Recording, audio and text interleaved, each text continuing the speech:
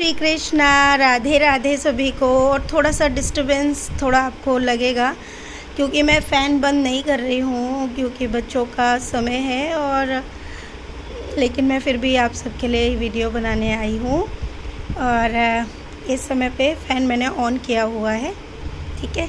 आज हमारी लाडो की छठी बहुत ही अच्छे तरीके से सेलिब्रेट हुई, मैं ज़्यादा वीडियो नहीं बना पाई, आप समझ सकते हैं, बहुत सारा काम होता है। इस वजह से साथ ही, लेकिन मैंने लाडो के दर्शन जो है आपके लिए, क्योंकि हमारी लाडो ने इतनी सुंदर लीला दिखाई कि हम उस लीला में ही इतने ज़्यादा सुबह हमें बहुत लेट हो गया उस लीला की वजह से।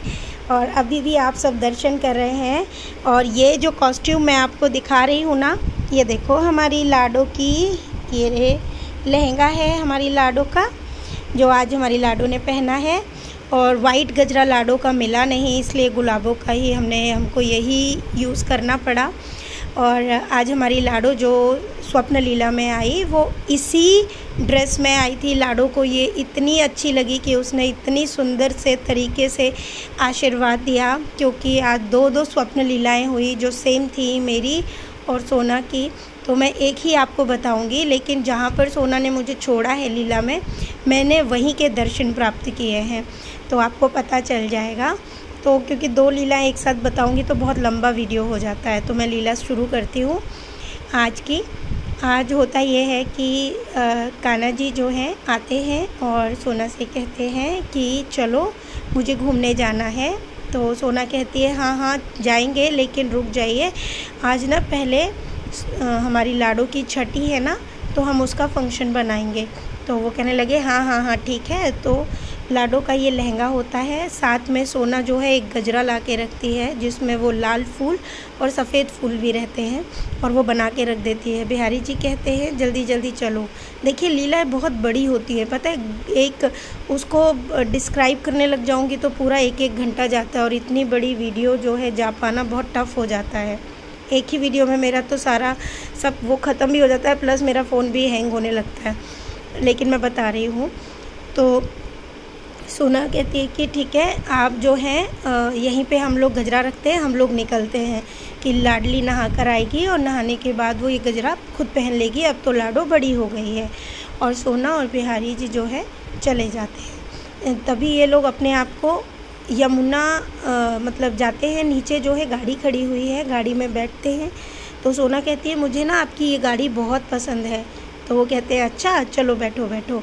तो तभी जैसे ही ये यहाँ से निकलते हैं तो एक जंगल सा पड़ता है। जंगल में जैसे ही एंटर करते हैं उस जंगल में खिलौने ही खिलौने हैं चारों तरफ़ खिलौने बिक रहे हैं। मतलब वहाँ की जो रोड है वो भी उबड़ खाबड़ जैसी है और वहाँ पर बहुत ज़्यादा तो वहाँ पर बहुत मतलब भीड़ सी लगी हुई है और वहाँ से कोई ना आ, मतलब आपने देखा होगा जैसे डोलियाँ टाइप की निकलती है ना तो उसको वो निकल रही है वहाँ पे जब मैयाओं की निकलती हैं तो डोली में बैठी होती है मैया और लेकर जा रहे होते हैं सवारी टाइप की। इस तरह की जो है वहाँ पे वो निकल रही है मतलब माता रानी की, पर पता नहीं चल पा रहा है किन की है। और वहाँ पे बहुत भीड़ भी है। वहीं पे ना बहुत सारे खिलौने बिक रहे हैं। तो सोना क्या देखती है कि दूर से उसे एक लड़की नज़र आती है और जो बाँस का जो पहले बजाते थे ना वो गिटार टाइप का होता है जो, क्या बोलते हैं उसको, नाम तो मुझे भी नहीं पता है। वो बाँस का बना हुआ होता है और वो उसको बजा रही है। चुई चुई टाइप की कुछ आवाज़ आती है उसकी, वो बजा रही है। तो सोना कहती है कि मुझे ना वो चाहिए, वो जो लड़की जो है बजा रही है, मुझे वही खिलौना चाहिए। तो बिहारी जी कहते हैं अच्छा तुमको वो चाहिए? अच्छा तो करते करते वो जो लड़की है वो पास आने लगती है। लेकिन जैसे ही सोना के पास वो लड़की आती है तो वो लड़की मैं होती हूँ, यानी कि मैं, दिव्या। लेकिन सोना दिव्या को नहीं पहचान रही है, लेकिन उसको कुछ अपनापन फील हो रहा है और वो उससे कहती है कि मुझे ना आपका ये खिलौना चाहिए, आप, आपका ये खिलौना बहुत अच्छा है। तो और सोना ये भी बोलती है कि आप मुझको जानती हो तो मैं मुस्कुरा के उसको बोलती हूँ हाँ। मतलब सिर्फ़ इशारा करती हूँ और मैं कहती हूँ हाँ मैं तुमको जानती हूँ। तो वो कहती है अच्छा आपका ये खिलौना किससे बना है? तो वो कहती है, बाँस से बनाया हुआ है। और मैंने जो वेशभूषा पहनी है वो मीराबाई टाइप की पहनी हुई है। मेरे चंदन की दो लग, मतलब मैंने जो टीका लगाया है वो वैष्णव टीका लगाया हुआ है। गले में मेरे दो तुलसी की कंठी हैं मतलब बड़ी वाली मालाएँ पहनी हैं कंठी के साथ में पीले वस्त्र धारण किए हुए हैं। और मैं जो बजा रही हूँ वो भी वही वीणा है जो मीराबाई जी बजाती हैं जो बाँस की होती हैं। और मैं उसको और पीछे एक थैली भी टंगी हुई है। इस तरह की मेरी वेशभूषा है। तो सोना कहती है कि आप मुझे ना मतलब अपनी अपनी सी लग रही हो, वो इतनी बात करती है, लेकिन सोना फिर रुक जाती है। सोना कहती है, अगर मैं इनसे ज़्यादा बात करूँगी तो बिहारी जी कहेंगे, कितनी बातें करती है, किसी से भी बातें करती है। लेकिन तभी वो क्या देखती है कि पीछे से कोई बच्चा आता है और वो उसके पीछे, बैक पे गोबर लगा देता है सोना के। सोना मतलब नीचे खड़े होके वो वो जो बेचने वाली, यानी मैं आई होती हूँ, मेरे से वो खिलौने की जब बात करती है तो सोना कहती है बिहार मतलब देखो ना मेरे कितनी बदबू आ रही है, मेरे ना गोबर लगा दिया। तो बिहारी जी कहते हैं हाँ ऐसे ही लोग करते हैं। वो सामने से बहुत अच्छे होते हैं और पीछे से गोबर लगाते हैं। तो ये बात का मैं संक्षेप में आपको आगे बताऊँगी, लेकिन तुम परेशान मत हो। मैं साथ हूँ ना, मैं चलता हूँ। चलो मेरे साथ, यहाँ मेरी सखी है और वो तुमको जो है लगा देगी मतलब नहलाने के लिए तुमको कपड़े भी दे देगी और तुम अच्छे से वस्त्र पहन लेना। तो सोना को प्रभु वहाँ ले जाते हैं और वहाँ पर वो जाती है और वहाँ पे वो स्नान करती है और स्नान करके वहाँ से निक, निकल आती है। निकलने के बाद में बाहर जैसे ही निकलती है तो वो क्या देखती है कि मैं फिर से वही वीणा वीणा क्या मैं नाम लूँ उनका? मुझे नाम एग्जैक्टली नहीं आता है। तो वो उसको बजा रही है और मैं उसके समीप, अब मैं सोना जहाँ जहाँ जा रही है, मैं उसके पीछे पीछे जा रही हूँ। तो सोना अब डर रही है और वो कह रही है, तुम पागल हो क्या? क्यों मेरे पीछे आ रही हो? मुझे किडनैप करना चाहती हो क्या? बताओ, क्यों मेरे पीछे आ रही हो? तो मैं सिर्फ़ मुस्कुराती हूँ। तभी बिहारी जी भी गाड़ी लेकर आ जाते हैं, क्योंकि गाड़ी बिहारी जी नहीं चलाते और गाड़ी वो ऑटोमेटिक है, वो खुद ही चलती है। तो सोना जो है उसमें जाके बिहारी जी से बोलती है ये ना मेरे पीछे पीछे आई जा रही है और जब से मैं देख रही हूँ, मुझे लग रहा है कि ये मुझे किडनैप करना चाहती है। तो बिहारी जी मुस्कुराते हैं और वो कहते, नहीं, ये तुम्हारी सखी है, ये तुम्हारी सखी है, तुम उनसे डरो नहीं। तो वो फिर बोलती है अच्छा आप मेरी सखी हो? बोले हाँ। तो बिहारी जी कहते हैं इनको भी तुम अपने साथ ले लो। तो सोना कहती है क्या बिहारी जी? अब आप इनको भी साथ ले लो। अगर इनको साथ ले लूँगी तो ये गाड़ी भर जाएगी। मेरा तो पूरा घर भर जाएगा। मैं, आप तो किसी को भी लोगे और गाड़ी में बिठा लोगे, ऐसे नहीं बिठाएँगे किसी को भी। तो बिहारी जी कहते हैं अच्छा लेकिन तभी वो कहते हैं, लेकिन ये तुम्हारी सखी है। तो वो कह रही हाँ वैसे ही अच्छी है और मुझे भी अच्छी लग रही हैं, पर मैं ना इनको लौटते वक्त ले जाऊँगी, अभी नहीं ले जाऊँगी, अभी तो आप चलो। तभी मैं जो वहाँ पर सखी के रूप में दिख रही हूँ तो मैं सोना को कहती हूँ, तुम बहुत चालाक हो और तुम तुम चालाक हो, इसीलिए तुम्हें बिहारी जी मिले हैं, क्योंकि बिहारी जी भी चालाक हैं और चालाक को ही चालाक मिलते हो। तुम बहुत चालाक बनती हो, तुम जो है सही रास्ते की जगह दूसरे रास्ते पर खुद चली जाती हो और दूसरों को वो रास्ता नहीं बताती हो। लेकिन तुमको क्या लगता है कि मैं बिहारी जी को नहीं पा सकती हूँ? मैं भी बिहारी जी को पा सकती हूँ। लेकिन भाई, हम भोले भक्त हैं और हम सिर्फ़ राधा जी के पास ही रहते हैं। हम भोले भक्त हैं ना, इसीलिए राधा जी के पास रहते हैं और तुम चालाक हो, इसलिए तुम बिहारी जी को, बिहारी जी के पास हो। और ये बात बोलती हो तो सोना कहती है, नहीं, ऐसा नहीं है। तो बोले कि, तुम जाओ और चली जाओ। तो सोना कहती है, नहीं नहीं, ऐसा करती हो, तुम यहीं मिलना, ठीक है? मैं लौटते वक्त तुमको ले लूँगी। और मैं वीणा बजाते हुए मैं वहीं रुक जाती हूँ इशारा करते हुए सोना आगे निकल जाती है। तभी ये एक यमुना नदी के तीर पे पहुँच जाते हैं किनारे पे पहुँच जाते हैं। वहीं पर एक नौका है और सोना कहती है कि ये नौका जो है नौका है यहाँ पे। तो सोना कहती है कि, मैया कहाँ है? मैया तो आई नहीं अभी तक। लाडली तो आई नहीं। तो बिहारी जी कहते हैं, तुम ऐसा करो, इस नौका को पहले तैयार कर दो। तब तक जो है लाडली भी आ जाएँगी। तो सोना जाती है और उस नौका को तैयार कर देती है फूलों से। वहाँ पे फूल भी सब अपने आप ही अवेलेबल हो जाते हैं और वो उसको तैयार कर देती है। तैयार करने के बाद जैसे ही सोना उसमें बैठती है, बिहारी जी उत्तर दिशा की तरफ़ मतलब आधा फेस करके बैठते हैं और सोना सीधे बैठती है। और अब बिहारी जी कहते हैं, अब तुम आँखें बंद करो, अब तुम्हें लाडली दिख जाएँगी। तभी सोना थोड़ा सा आँख खोल के देख लेती है कि लाडली जल पे चल के आ रही है, लेकिन घूंघट लगा हुआ है। एक पायल की आवाज़ आती है, छन। जैसे ही वो नौका में बैठ जाती हैं, यानी राधा रानी जो है, नौका में बैठ जाती हैं और वो भी बिहारी जी की तरह उत्तर दिशा में, दोनों का हाफ़ फेस जो है, इस तरीके से वो बैठे हुए हैं नौका में। और सोना जो है, सामने फ्रंट पे बैठी हुई है और प्रभु कहते हैं, चलो, अब तुम चप्पू चलाओ। तो सोना बोलती है, अरे, मेरे हाथों में दर्द होगा। वो कह रहे, नहीं होगा, तुम चलाओ। तो सोना कहती है, ठीक है ठीक है, मैं आपकी सेवा करूँगी और मैं आपके लिए चप्पू चलाऊँगी। और वो चप्पू चलाने लगती है। जब वो उसको चला रही होती है तो वहाँ पर बिहारी जी से वो कहती है अच्छा ये बताओ, पर ये तो मैया है, पर सोना के दिमाग में बहुत दुविधा चल रही है। लेकिन लाडली तो आई नहीं, ये तो मैया आ गई, पर मैया कितनी सुंदर है। तो कान्हा जी कहते हैं अच्छा बहुत सुंदर है तो तारीफ़ करो। तो बोले, तारीफ़ कहाँ से करूँ? उन्होंने तो घूंघट लगा रखा है। बस मैया की नथ दिख रही है और मैया के नथ कितनी सुंदर है और सोना तारीफ़ करना शुरू कर देती है कि मैया तुम्हारी नथ कितनी सुंदर है, मैया तुम्हारे होठ कितने सुंदर हैं, मैया तुम्हारा तिल कितना सुंदर है, मैया तुम्हारे झुमके कितने सुंदर हैं, मैया तुम्हारी माला कितनी सुंदर है, मैया तुम्हारे लंबे केश कितने सुंदर हैं, उन केशों पे चुटीला लगा है वो कितने सुंदर है। मतलब सोना को जो जो दिख रहा है, सोना उसकी तारीफ़ कर रही है। तभी मैया धीरे से लहंगे से अपना पैर आगे की तरफ़ निकालती है। तो सोना को लाड़ो का मतलब मैया का पैर दिखता है। तो सोना कहती है, मैया, तुम्हारे नख कितने सुंदर हैं। मैं सौ जन्म लूँ तुम्हारे इन नखों के लिए। इस तरह से तारीफ़ करते, तभी बिहारी जी कहते, बस बस बस, अब बहुत हो गई तारीफ़। अब चलो, अब तुम मतलब नौका चलाओ। तभी वो चलाने लगते तो सोना कहती है अच्छा मुझे ये बताओ कि आपको मैं अच्छी क्यों लगती हूँ? तो बिहारी जी कहते हैं, आज मैं तुम्हें तुम्हारे बहुत से सवालों का जवाब देता हूँ। तो सोना कहती है, ठीक है, आप बताइए। तो बिहारी जी कहते हैं अच्छा ये बताओ, तुम 2019 में मुझसे पहली बार मिलने आई थी? तो सोना कहती है हाँ पर वो तो मैं अपनी दोस्त के साथ आई थी। तो बोले हाँ? तो वो बोले, अरे, बिहारी जी, मुझे याद आ गया, दिव्या, वो तो मेरी दोस्त है।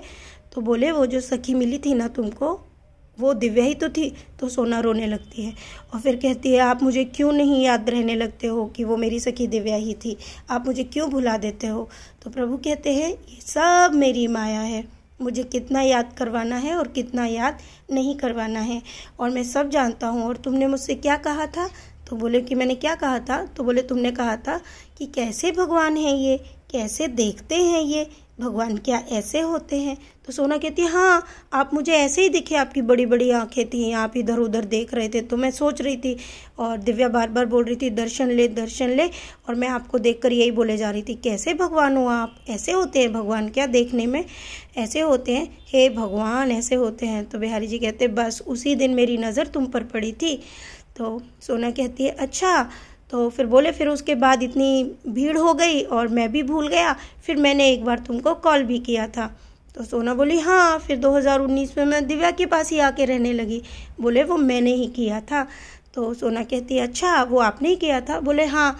इसीलिए तो कि मैंने मैं, मैंने तुम्हें उसी दिन जो है जान लिया था। और मैं ये जानता हूँ कि तुम मेरी तरह ही बहुत शरारती हो। तो बोले हाँ अच्छा आपको ये भी पता है। बोले, मुझे आप, तुम्हारे बारे में सब पता है कि तुम बहुत शैतानी करती हो और सब झूठ भी बोलती हो। तो बिहारी जी तो सोना बोलती है हाँ आपको कैसे पता? कह रहे, मैंने तुम्हारा सारा बायोडाटा निकाला है। बोले, क्या? बोला, बचपन में तुम आलू चुराया था ना तुमने? तो सोना बोली हाँ आपको कैसे पता? बोला, सबको सताती थी ना? बोले हाँ आपको कैसे पता? बोला, मुझे सब पता है। तो बोले कि, और आज तुम जो है हर बार जो है ये बोलती हो कि मुझे ये काम दो, मुझे पैसे दो, वो तुमको मिलता तो है। तो वो कहने लगी, कहाँ मिलता है? बोला कि जो तुमको मिलता है ना, वो सभी मेरी अदृश्य सेवा है। मैं अदृश्य होकर सब देता हूँ। पैसों का क्या करोगी? तो तभी सोना बोलती, है हे भगवान, अगर पैसे बहुत होंगे, लेकिन तुम्हें आगे खूब मिलेगा। तो सोना कहती है, तब तो मैं बुढ़ी हो जाऊँगी। तो मैं कैसे मतलब झोला उठाऊँगी पैसों का? तो बिहारी जी कहते हैं हे भगवान तो सोना कहती है, देखा, आपको भी भगवान याद आए ना? तो प्रभु हँसते हैं और कहते हैं, मैं ही भगवान हूँ। तो सोना कहती है अच्छा लेकिन आप तो कृष्ण जैसे नहीं दिखते हो। कृष्ण ही तो भगवान है। तो बोले अच्छा लेकिन मैं ही हूँ। इस तरीके से सोना जो है, उनसे बात करती है। और तभी प्रभु कहते हैं तो सोना कहती है, लेकिन ना, आप मुझे भुला क्यों देते हो सब? तो प्रभु कहते हैं कि जितना मुझे याद रखवाना होता है, उतना मैं याद रखवाता हूँ। तो वो कहने नहीं चलो, मुझे अब अपने घर जाना है। तो बोला, अभी तुम ना मुझे और घुमा दो। अभी तो और घूमना है। तो प्रभु कहते हैं कि तुम मुझे थोड़ा सा और घुमा के लाओ। और तो सोना कहती है, ठीक है, मैं आपको ना और वहाँ तक घुमा के लेकर आ जाऊँगी। सारा का सारा। पर आप मुझे बताओ, लेकिन आप मुझे दिव्या के पास छोड़ आना। तो बोले हाँ मैं वहाँ तुम्हें छोड़ दूँगा। तो फिर प्रभु कहते हैं, तुम जानते हो, तुम्हारी जो सखी हैं, उन पर दिव्या, उन उन पर राधा रानी का हाथ है और मैं तुमसे प्रसन्न हूँ। तो बोले, इसलिए मैं तुमको दिखता हूँ। तो वो बोले अच्छा ये बात है। बोले हाँ यही बात है। इसीलिए तो राधा रानी सबसे पहले बरसाने बुलाती हैं तुम सबको और फिर उसके बाद तुम सब वृंदावन आते हो। तो सोना बोलती है अच्छा ऐसा है? मतलब सोना एक बच्चे के भांति उनसे हर चीज़ का जवाब मांगती रहती है। और तुम जो काम करती हो ना, जो वस्त्र बनाती हो, बोले हाँ तो उन सब का दाम तुम मुझसे मांगती भी हो। तो प्रभु तो सोना बोलती तो और क्या बोलूँ? तो बोला, तभी तो वो तुमको मिलता है ना, क्या करना है? जितने की तुम्हें ज़रूरत होती है, मैं तुमको देता हूँ ना। तो वो कह रही हाँ दिव्या भी यही बोलती है कि कर्म करो तो उसका फल मिलता तभी प्रभु, फल देते हैं। तो प्रभु कहते हैं कि हाँ दिव्या बड़ी है ना? और वो जो तुम्हें सिखाती है, वो सब सही सिखाती है। तुम मुझसे ऐसे ही उसकी बात माना करो। प्रभु ने ये बात सोना को कहा। बोला, ठीक है। ये बात होती है। फिर सोना बोलती है, अब उनको पूरा राउंड जो है सोना चप्पू चलाते चलाते पूरा घुमाती है। तभी अचानक प्रभु और लाडो जो है मतलब ऊपर की तरफ़ उड़ने लगता मतलब सीढ़ियों की तरफ़, ऊपर की तरफ़ चढ़ने लगते आसमान की तरफ़। तभी सोना कहती है, अरे, आप तो बड़े मतलब मतलबी हो, मुझे यहीं छोड़कर जाने लगे, मुझे घर भी जाना है। तभी, लेकिन सोना का ध्यान इस बात पर नहीं होता कि प्रभु और लाडो क्या कर रहे होते हैं। सोना बार बार कहती है, लाडो, ये ना हमारी लाडो पहनेगी, ये लहंगा लहंगा मुझे दे देना, क्योंकि कल हमको उसको पहनाना है, कल उसकी छठी है तो मैया हंसती है, घूंघटी लगा होता है मैया का। तभी वहाँ जाकर बिहारी जी, कृष्ण रूप में टेढ़ी टांग कर कर बाँसुरी बजाते हुए और राधा रानी घूंघट में ही सोना को आशीर्वाद देते हुए नज़र आते हैं ऊपर से। थोड़ी देर सोना देखती है और वो कहती है, समझ ही नहीं आता उसे पहले कि ये क्या कर रहे हैं। उसके दिमाग में तो एक ही चीज़ चल रहा है, मुझे घर छोड़ो, कि लाडो की छठी मनानी है। तभी वो आशीर्वाद तो सोना कहती है अच्छा ये मुझे दर्शन दे रहे हैं शायद। और वो नमस्कार करती है। तभी प्रभु से कहती है, प्रभु, मुझे घर जाना है। तो वो वहाँ से चुटकी बजाते हैं और सोना घर पे आ जाती है।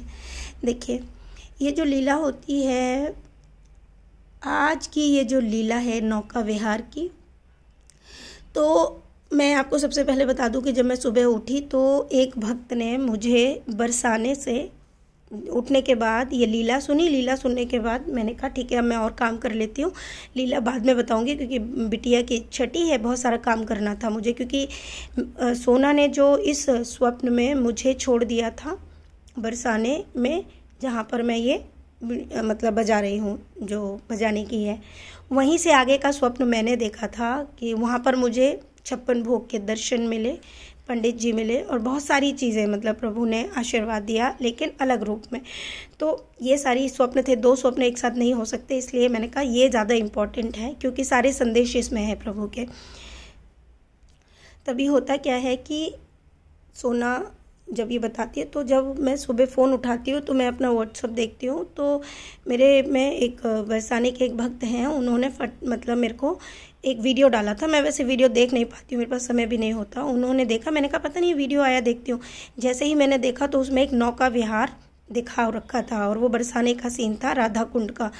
मैं एकदम अचंभित हो गई और मैं लीला सुन चुकी थी सुबह सुबह एकदम। तो मैंने उनसे जल्दी से मैसेज किया कि, मैंने कहा, मुझे, बताइए मैया कि ये कहाँ का दृश्य है। तो उन्होंने कहा ये राधा कुंड का है और कल आ, मतलब ऐसे ही आक्स में मतलब आस्क में क्या बोलते हैं उसको? अकस्मात सॉरी अकस्मात जो है एक नौका विहार जो है कल आयोजित की गई थी राधा कुंड में और ये उसी का सीन है और उसी को आज प्रभु ने लीला के रूप में दिखाया था स्वप्न में। मैं अचंभित थी और वहाँ पर बरसाने से वो डोली में ही निकली थी, जो कि डोली में मैंने भी उनके आज दर्शन किए थे स्वप्न में और उन्होंने छप्पन भोग बनाए। उसी पे आधारित जो भोग उन्होंने मुझे दिखाए थे, उसी पे आधारित मैंने भी भोग बनाए।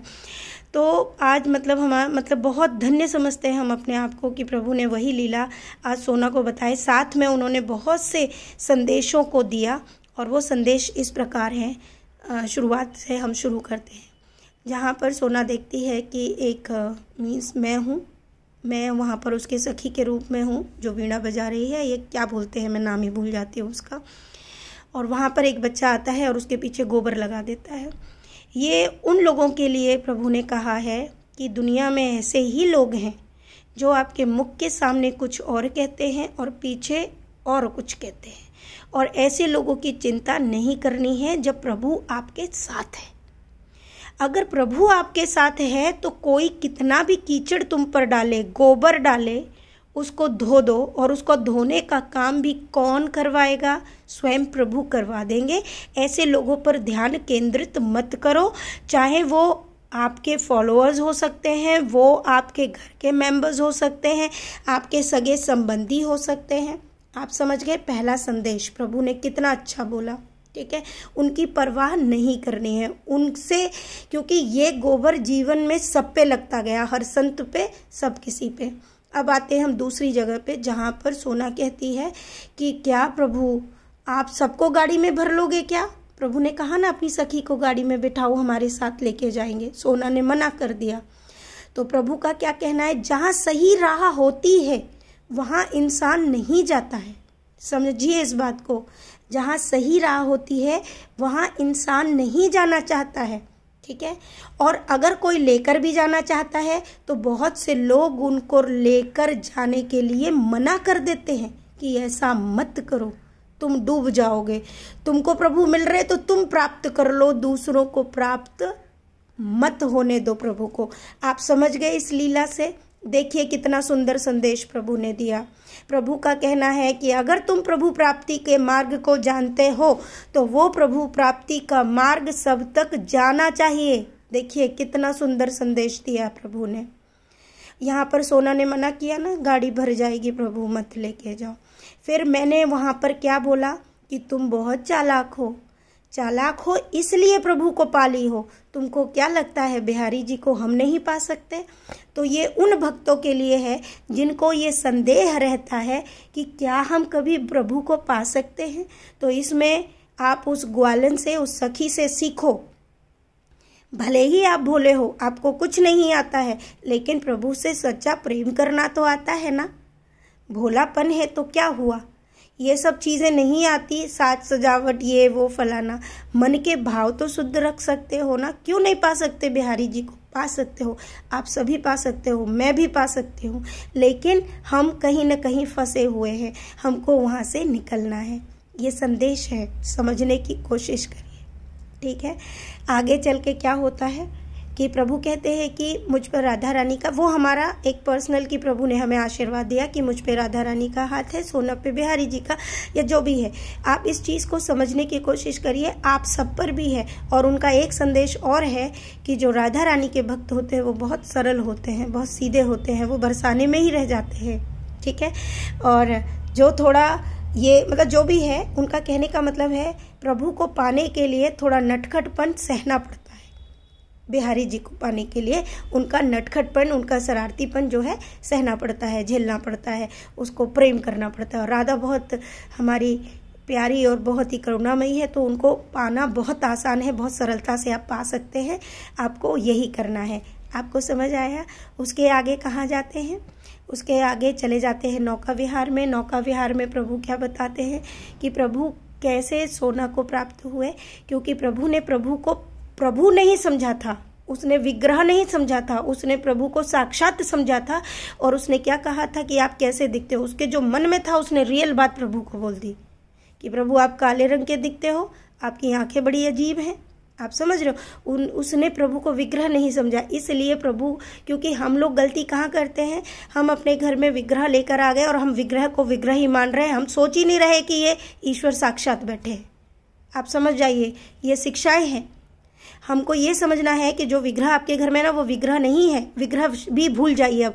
मूर्ति तो भूल ही जाइए, अब विग्रह भी भूल जाइए। अब सीधे से बोलिए, ये साक्षात राधा रानी है।